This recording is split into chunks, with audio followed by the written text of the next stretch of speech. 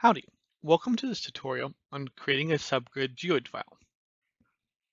First, I'd like to talk about what a geoid is. While we often think of the Earth as a sphere, our planet is actually very bumpy and irregular. The radius at the equator is larger than at the poles due to the long-term effects of the Earth's rotation. And, at a smaller scale, there is topography. Mountains have more mass than a valley and thus the pull of gravity is regionally stronger near mountains. All of these large and small variations to the size, shape, and mass distribution of the Earth cause slight variations in the acceleration of gravity, or the strength of gravity's pull. These variations determine the shape of the planet's liquid environment. If one were to remove the tides and currents from the ocean, it would settle onto a smoothly undulating shape, rising where gravity is high sinking where gravity is low.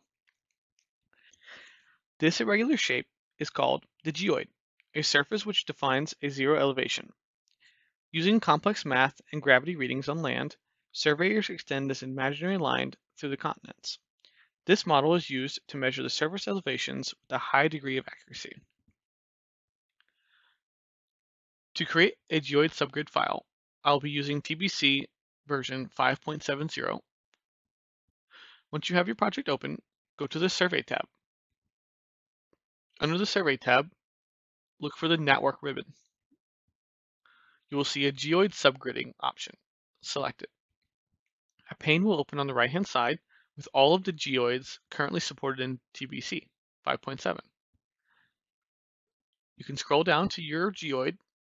I will be using geoid 18 conus.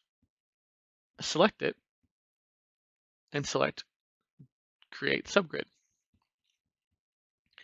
Now, you will select your location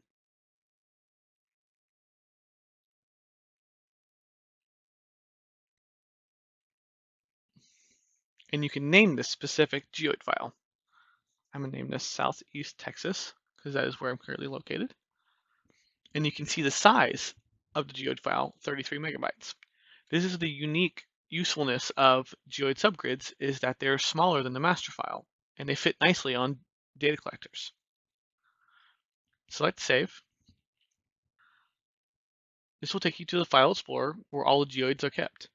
Under the C drive, Program Data, Trimble, Geodata. You can select Save.